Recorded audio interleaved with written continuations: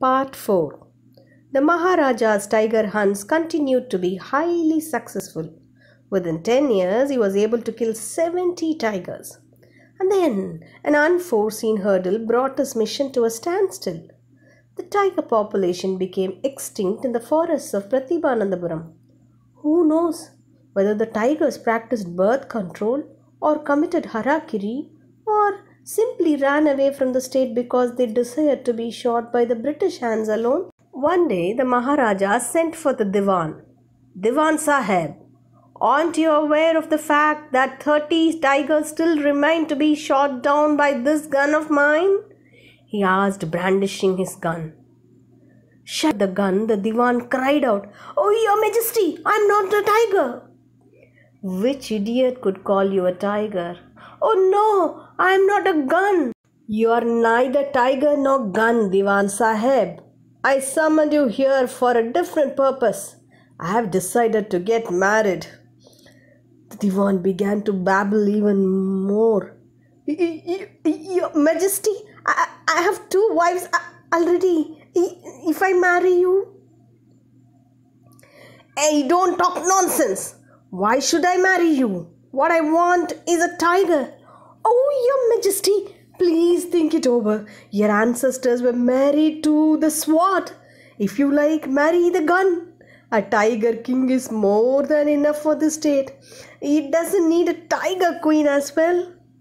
Maharaja gave a loud crack of laughter. I'm not thinking of marrying either a tiger or a gun, but a girl from the ranks of human being. First, you may draw up statistics of tiger populations in the different native states. Next, you may investigate if there is a girl I can marry in the royal family of the state with a large tiger population. The Diwan followed his order. He found the right girl from the state which possessed a large number of tigers. Maharaja Jung Jung Bahadur killed five or six tigers each time he visited his father in law. In this manner, 99 tiger skins adorn the walls of the reception hall of Pratibhanandapuram Palace. Here is a new word for you taxidermy. Taxidermy is an art and craft of preserving dead animals' body via mounting and stuffing for display and studies. Recall, you would have seen lifelike animals and birds in your biology lab, right? They are preserved specimens of dead animals and birds for studying their anatomy. It comes from the Greek words taxis and derma. Taxis means arrangement, derma means skin. Now it suggests the arrangement of dead skin in a certain way. That's precisely how 99 tiger skins adorned the Maharaja's wall. Kalki has been using figurative language all through the story. Here are two references for you from this section. Tigers committing harakiri. Harakiri or seppuku or belly cutting is a form of ceremonious suicide by samurai warriors. On later dates, other Japanese too performed this to restore their honor and modesty rather than falling into the hands of enemies. Here, the author makes a humorous reference to the supposed tiger warriors committing suicide instead of falling prey to their enemy, the Maharaja of Pratibhanandapuram. Another metaphoric phrase in this section is being wedded to sword. This is a phrase to watch. This means to be a dedicated warrior. Maharaja's predecessors had been dedicated warriors, but Maharaja, a foolish hunter, married to his gun, thinking nothing but tiger hunting. It's an ironic mention as to what would have happened to the tigers in the state of Pratibhanandapuram. Everything other than Maharaja's ruthless hunting has been mentioned here, such as the tigers practicing birth control, committing ceremonial suicide, or running away. Wish to be killed only by the British. This is a satire on people in power who do not realize the consequences of their action. Here is a list of words for you to take note of. Here is a recap for you. Maharaja's hunting spree continued until the tally reached 70. It was brought to a standstill as the tiger population became null in the Pratibhanandapuram forest. The Maharaja called upon the Diwan to find out if there was any suitable girl whose kingdom had large number of tigers. Here, I want you to analyze the Maharaja's intent to get married. Here he looked forward to get married only as an opportunity to continue tiger hunting. The only criterion stated by Maharaja is that the girl should be from a royal family whose kingdom should possess a large number of tigers.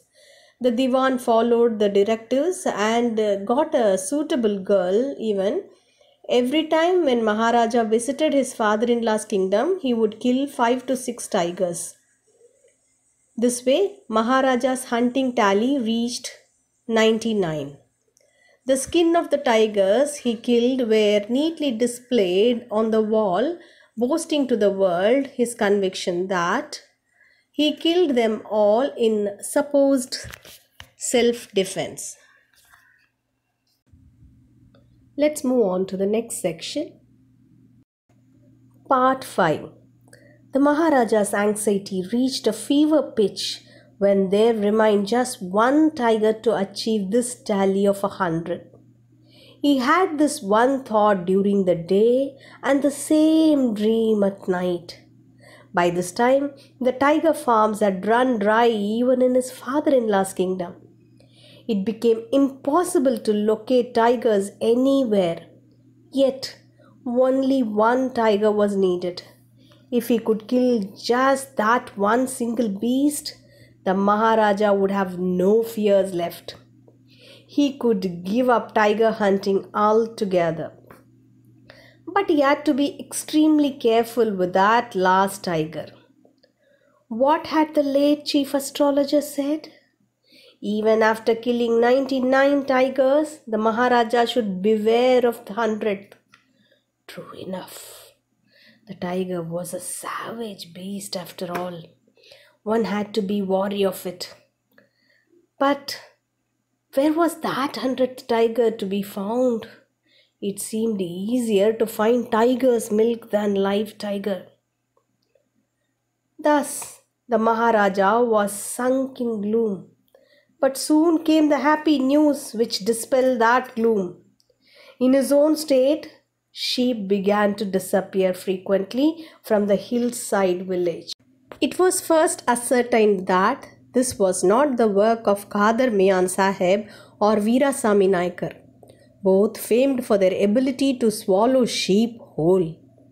Surely a tiger was at work. The villagers ran to inform the Maharaja.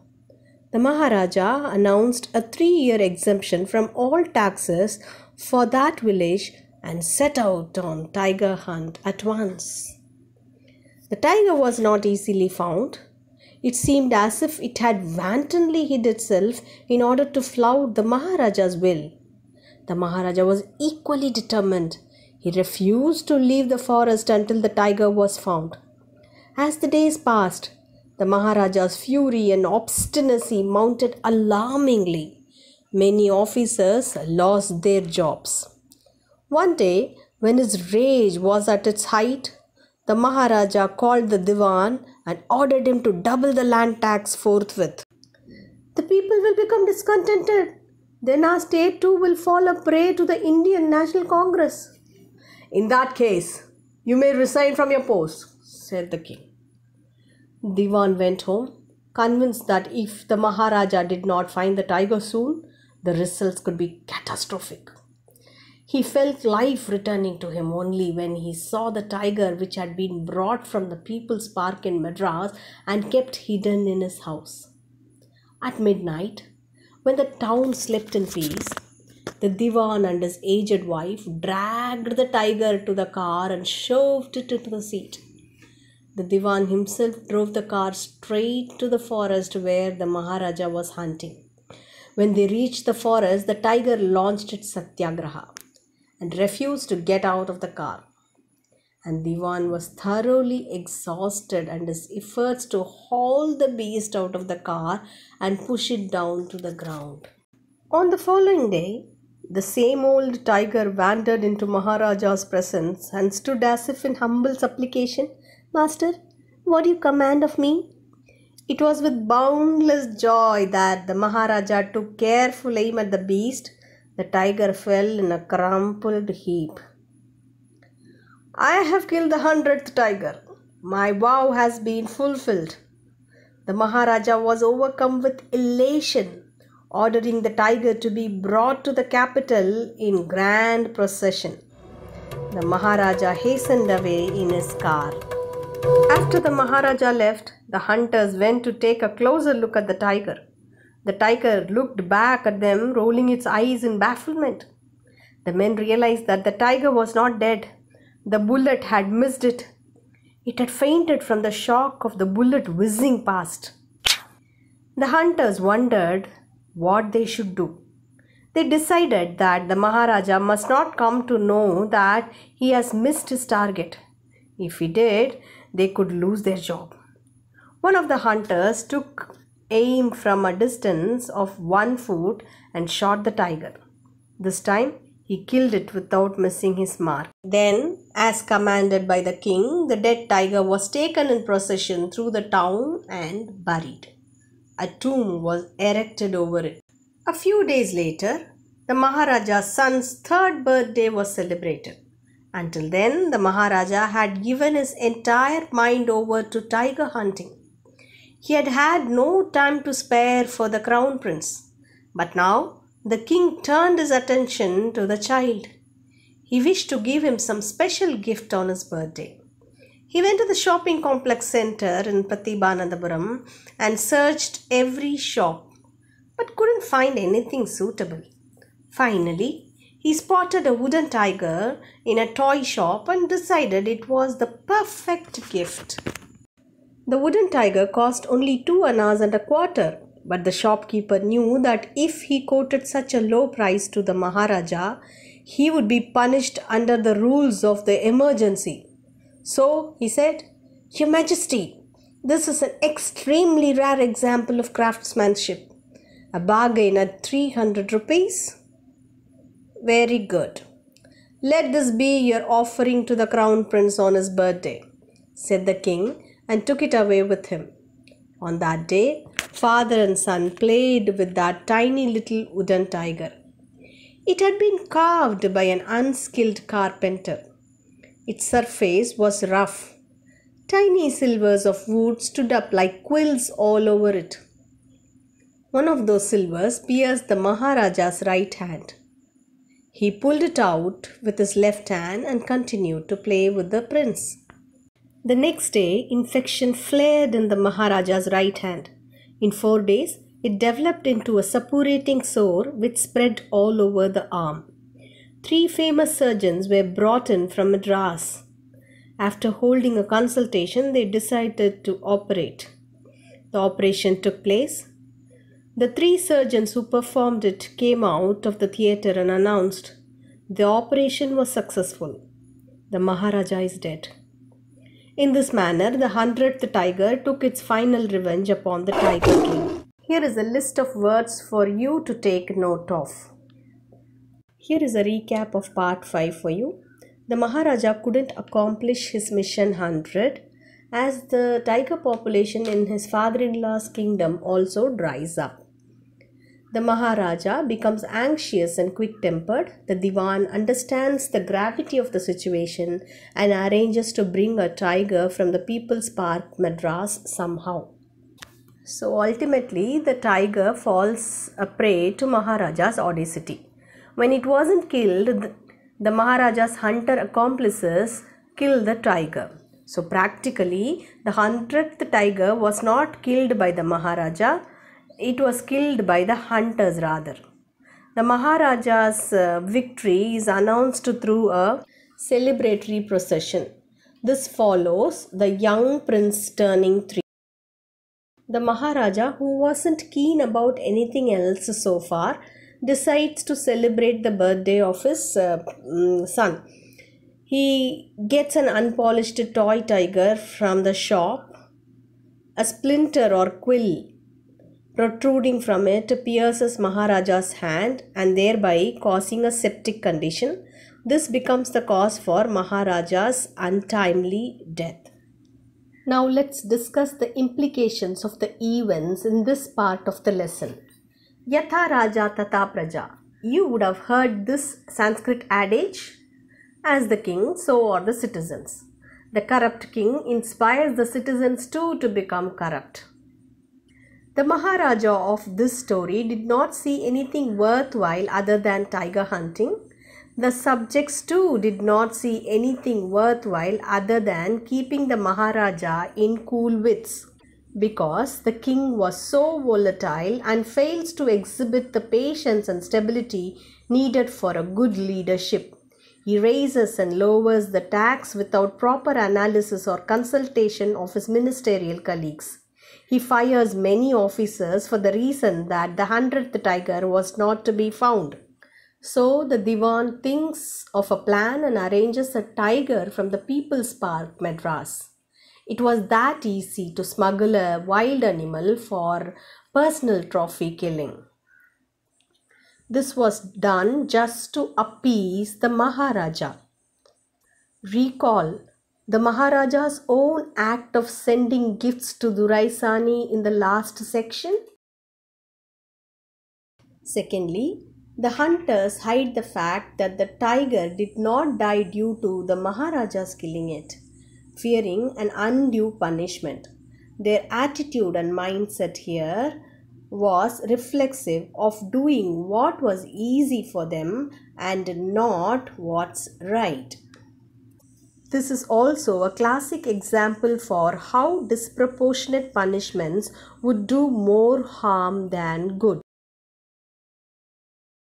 Similarly, the toy shop owner quotes an extraordinary price for the toy tiger of little worth.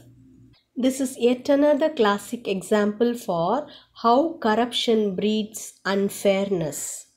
All these actions are directed towards feeding Maharaja's inflated ego and snobbishness. The Maharaja, thinking the higher the value, the superior the thing, leads him to take the toy tiger home without checking the quality. The king's attitude that the subjects owe the king than the king owes the subject is reflected here. His sense of authority and entitlement is seen here when he takes the toy tiger as a forced gift from the toy seller. Now let's discuss the implication of reference to Indian National Congress. The Indian National Congress was the first successful party to form the government in independent India. As an effort towards unifying India, which was scattered into independent princely states, Sardar Vallabhbhai Patel, who would be later known as the Iron Man of India for unifying the princely states, was deployed by the then government to run rounds of talks with the heads of various princely states to bring them under the umbrella of one India. The Diwan's reference, our state too will fall a prey to the Indian National Congress, is a reference that people of Pratibhanandapuram would come under the influence of unification campaign of the then government, which would make the Maharaja lose the imperial powers resting with him.